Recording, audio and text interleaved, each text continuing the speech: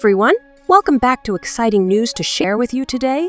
Margot Robbie, the star and producer of the hit film Al Barbie, is expecting her first child with her husband, Tom Ackerley. Join us as we dive into the details of this wonderful announcement and take a look back at their beautiful journey together.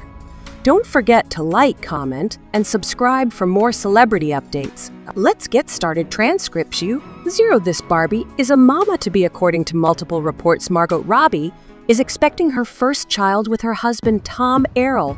The couple's exciting news comes nearly eight years after they tied the knot in a private ceremony in her native Australia.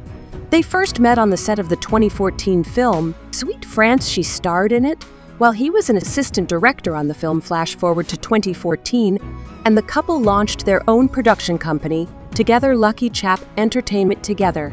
They produced her monster hit Barbie, which says she also starred in the film, went on to bring in more than $1, 3 cents billion doll worldwide at the box office, becoming one of the only female-dominated movies among the top grossing films of all time. Margot also scored an Oscar nomination as a producer on the film, which was up for Best Picture back in 2018. The Suicide Squad actress opened up about the possibility of starting a family, to Porter saying, If I'm looking into my future 30 years from now, I want to see a big Christmas dinner with tons of kids there, but definitely not at the moment. 11 That's 100 certain, and in January, the A-lister spoke to a News's Keltie Knight at the Critics' Choice Awards about why her romance with her more behind-the-scenes hubby works so well and you have a normie husband, what are the benefits of having a normie guy to produce with you and like just you? No, he's not trying to steal the spotlight.